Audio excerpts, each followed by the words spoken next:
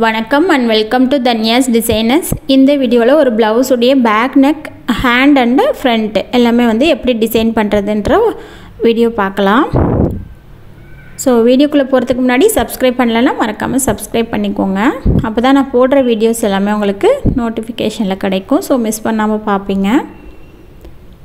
இதில் வந்து back neck இப்போ நான் ஸ்டார்ட் பண்ணியிருக்கேன். நார்மலாக எப்பயும் போல் பேக் நெக் ஸ்டார்ட் பண்ணோடனே டூ அல்லது த்ரீ லைன் வந்து ஜரியில் செயின் ஸ்டிச் கொடுத்துக்கலாம். இப்போ கொடுத்துட்டு பார்ப்போம். நான் இப்போ த்ரீ லைன் ஜரியில் செயின் ஸ்டிச் கொடுத்துருக்கேன். ஜரி த்ரெட் வந்து ஏ ஒன் மம்தா தான் யூஸ் பண்ணியிருக்கேன். நார்மல் அயன் நீடில் தான் நான் எப்போயுமே யூஸ் பண்ணுறேன் ஸோ இப்போ வந்து பீட் நீடில் யூஸ் பண்ணி அயன் நீடிலே பீடிங்க்கு யூஸ் பண்ணுற நீடில் யூஸ் பண்ணி சுகர் பீட் கொடுத்துக்கிட்டு இருக்கேன் கோல்டு கலர் ஸோ ஒரு ஒரு லைன் கொடுத்துட்டு அகெயின் ஒன் மோர் லைன் வந்து சுகர் பீட் கொடுத்துருக்கேன். கொடுத்துட்டு number four size antique bead insert பண்ணிக்கிறேன் சிங்கிள் சிங்கிளாக இந்த ஆன்டிக் பீடை பொறுத்த வரைக்கும் பிராண்ட் எதுவும் சொல்லி வாங்க முடியாது. குவாலிட்டி அந்த மாதிரி ரிலேட்டடாக எந்த மாதிரி பிராண்டெல்லாம் இல்லை. நம்ம வந்து ஜென்ரலாக பார்த்து வாங்கிக்கலாம். பார்க்கும்போது நமக்கு நல்லா இருந்தால் ஓகே தான் வாங்கிக்கலாம். ரொம்ப டல்லாக இருந்தால் வாங்காதீங்க.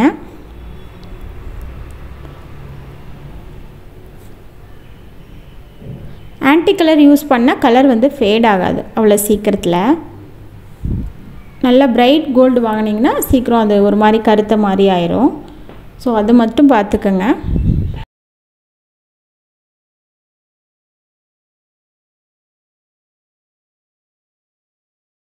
So number four size bead insert பண்ணதுக்கப்புறம் இன்னொரு லைன் வந்து சுகர் பீட் இன்சர்ட் பண்ணிக்கிறேன்.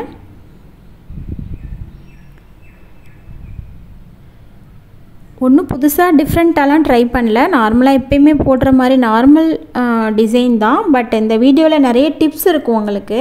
ஸோ மிஸ் பண்ணாமல் ஸ்கிப் பண்ணாமல் பாருங்கள் இந்த பீட் பார்த்திங்கன்னா இது கட் பீடு கட் கட் பீட்லேயே வந்து நமக்கு ஷைனிங்காக இருக்கும். நமக்கு டியூப் பீட்ஸ் மாதிரி. இது இந்த கட் பீட் எப்படின்னா ஒரு மாதிரி கோட்டட் மாதிரி இருந்தது. ரொம்ப நல்லா இருந்தது.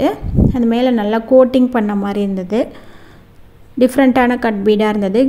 கிளாஸி எஃபெக்டில் இல்லை. ஒரு மாதிரி மேட் ஃபினிஷிங்கில் இருந்தது. ஸோ ரொம்ப நல்லா இருந்தது. கட் பீடை பொறுத்த வரைக்கும் நம்ம சுகர் பீட் வந்து டூ டூவாக இன்சர்ட் பண்ணிக்கலாம். லைன்ஸில் பண்ணும்போது. பட் கட் பீட் வந்து சிங்கிள் சிங்கிளாக தான் வந்து நம்ம இன்சர்ட் பண்ணணும். ரெண்டாக சேர்த்து பண்ணும்போது அதோட ஷேப் வந்து ஒரு மாதிரி மாறி மாறி தெரியும். நல்லா இருக்காது. ஒரே மாதிரி ஈவனாக வரணும் அப்படின்னா சிங்கிளாக இன்சர்ட் பண்ணால் தான் நல்லாயிருக்கு கட் பீடை பொறுத்த வரைக்கும். ஸோ கட் பீட் இன்சர்ட் பண்ணதுக்கப்புறம் அகைன் வந்து number three mm antique bead வந்து இன்சர்ட் பண்ணிக்கிறேன்.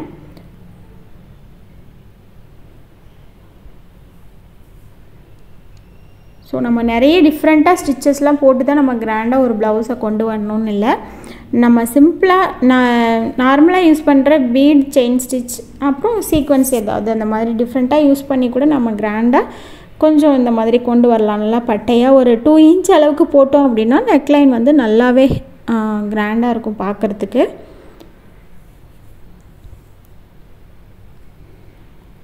ஸோ இந்த பீட் லைன் முடித்ததுக்கப்புறம் நான் சக்கரி எடுத்திருக்கேன். இப்போ வந்து வரிசையாக இப்படியே சக்கரியை வந்து இன்சர்ட் பண்ணிக்கலாம். இந்த சக்கரி இன்சர்ட் பண்ணல பண்ணுறதுல வந்து ஒரு முக்கியமான விஷயம் இருக்குது கண்டிப்பாக நம்ம ஃபாலோ பண்ணணும் அது. நார்மலாக சாதாரணமாக நம்ம சக்கரியை யூஸ் பண்ணிட்டோம் அப்படின்னா அது நல்லா இருக்காது. நான் உங்களுக்கு அந்த விஷயத்த சொல்கிறேன் இப்போ இன்சர்ட் பண்ணும்போது கொஞ்சம் ஜூம் பண்ணி காட்டுறேன்.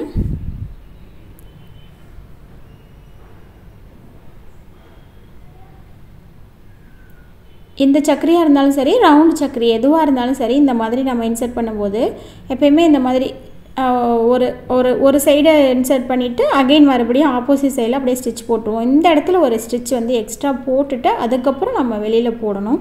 அப்படி போடும்போது இந்த இடத்துல ஒரு நமக்கு வந்து பள்ளம் கிடைக்கும். குழி வந்து வரும். அந்த இடத்துல தான் அப்போ தான் நம்ம வந்து ஜர்கான் ஸ்டோன் வந்து இன்சர்ட் பண்ணும்போது கரெக்டாக அந்த இடத்துல போய் உட்காரும்.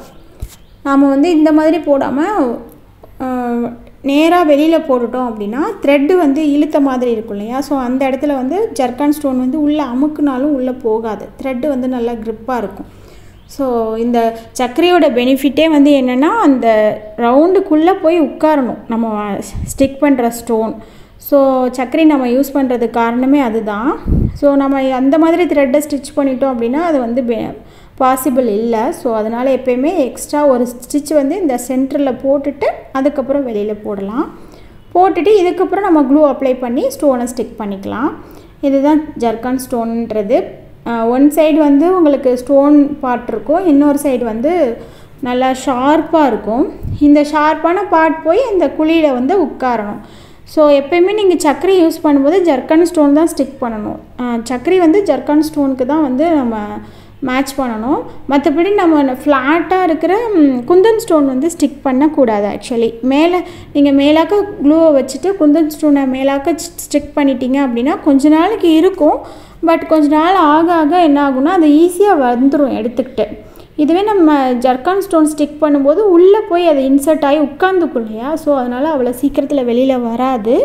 ஸோ சக்கரி நம்ம யூஸ் பண்ணுறதே வந்து ஜர்கான் ஸ்டோன் ஸ்டிக் பண்ணால் தான் வந்து கரெக்டாக இருக்கும். அப்படி இல்லை ஜர்கான் ஸ்டோன் அந்த கலரில் இல்லை அப்படின்னா நீங்கள் சில்க் த்ரெட் யூஸ் பண்ணி ஃப்ரெஞ்ச் நாட் போட்டுக்கோங்க. அது பெஸ்ட்டு இப்படி நாம் பண்ணும்போது இப்போ நான் ஸ்டிக் பண்ணியிருக்கேன் பார்த்தீங்களா? இந்த மாதிரி எக்ஸ்ட்ரா க்ளூ வந்து அப்ளை பண்ணக்கூடாது எப்பயுமே.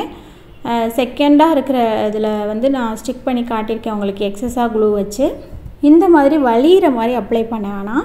அப்படி பண்ணும்போது என்ன ஆகும்னா அந்த க்ளூ வந்து அந்த கோல்டு பார்ட் இருக்குல்ல அதில் வந்து கோட் ஆகிடும் கோட் ஆகிட்டு கொஞ்சம் சீக்கிரமே வந்து அது கருத்துரும். அந்த சக்கரையில் உள்ள அந்த கோல்டு பிளேட்டிங் ஸோ அதனால் வந்து க்ளூ வந்து தேவைக்கு மட்டும் கரெக்டாக எவ்வளோ தேவையோ அந்த ஸ்டோன் வந்து ஸ்டி சிட் அதாவது உட்கார்றதுக்கு அந்த அளவுக்கு மட்டும் க்ளூ அப்ளை பண்ணுங்கள் எக்ஸ்ட்ரா அப்ளை பண்ண தேவையில்லை. ஸோ அதையும் நம்ம மைண்டில் வச்சுக்கணும். அப்புறம் இன்னொரு விஷயம் நம்ம எக்ஸ்ட்ரா அப்ளை பண்ணும்போது க்ளூ எக்ஸ்ட்ரா அப்ளை பண்ணும்போது அந்த ஸ்டோனோட ஷைனிங்கும் வந்து போயிடும்.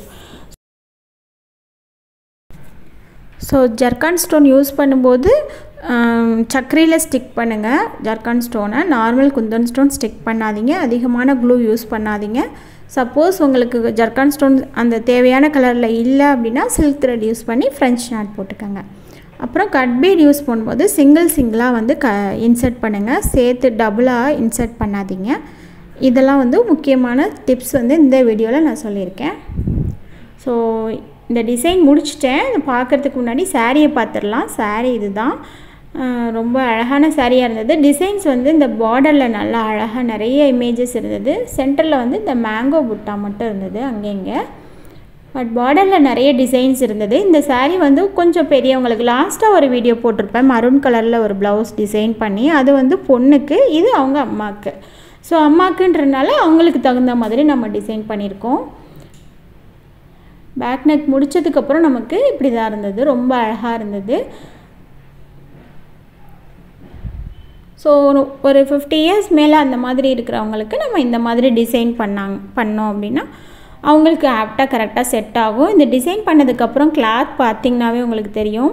இது அப்படியே ஃப்ரேம்லேருந்து கலட்டினதுக்கப்புறம் உங்கள்கிட்ட காட்டுறேன். எந்த சுருக்கமோ இல்லை து நூல் இழுத்துறது அந்த மாதிரி எதுவுமே இல்லை பாருங்கள் ரொம்ப நீட்டாக இருந்தது. நம்ம எப்பயுமே வந்து ஒர்க் பண்ணும்போது கிளாத்தில் வந்து ரொம்ப கான்ஷியஸாக இருக்கணும். நம்ம அதை நீட்டாக வச்சுக்கணும் கிளாத்தை பொறுத்த வரைக்கும் ரொம்ப. ஸோ அது கொஞ்சம் மெயின்டைன் பண்ணிடணும் நாம் எப்பயுமே. கலட்டினதுக்கப்புறம் கையிலையுமே வந்து எந்த சுருக்கமோ இல்லை எந்த நூல் இழுக்கிறது எந்த ப்ராப்ளமே இல்லை. ரொம்ப அழகாக இருந்தது.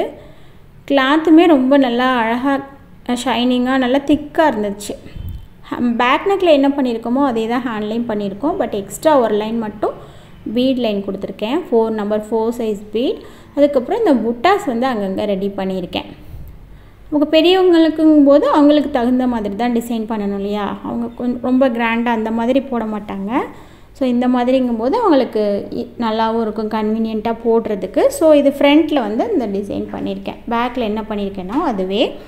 இந்த வீடியோ உங்களுக்கு யூஸ்ஃபுல்லாக இருந்திருக்கும் பிடிச்சிருக்குன்னு நினைக்கிறேன். பிடிச்சிருந்துச்சுன்னா மறக்காமல் சப்ஸ்கிரைப் பண்ணிவிட்டு பெல் ஐக்கானையும் கிளிக் பண்ணிவிடுங்க தேங்க்யூ